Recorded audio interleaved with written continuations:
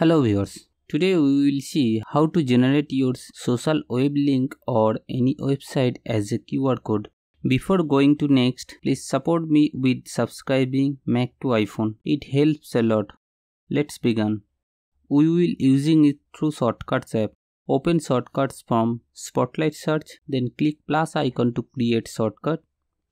Basically command is generate QR code if you type anything any text on here and run shortcut it shows QR code for this text. So we are going to generate QR code for social links or website. So we need to add details from Safari. Search get current web page from Safari then double click on it. Then generate QR code for web page if you run this, it will give a result for current web page. Let's show the result in quick look.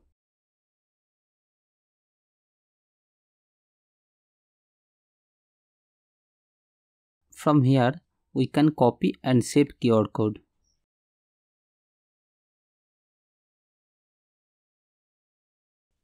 To save QR code, search save file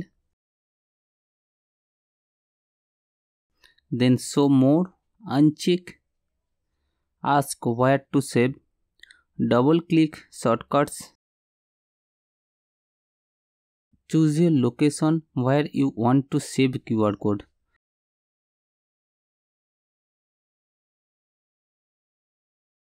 First time it will ask to save.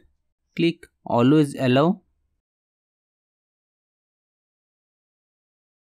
Now we will save it using this website name. Find get details of Safari web page and move it. Click details and select name. Now find rename file.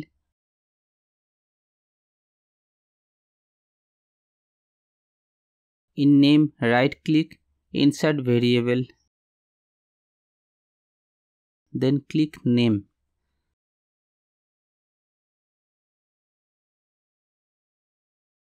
Now run. You can see it is saved to your desktop with proper details. Now from here check pin in menu bar and close shortcut app and run it from menu bar. That's all. Hope you like this video. Please like and subscribe my channel to get more videos. Thank you.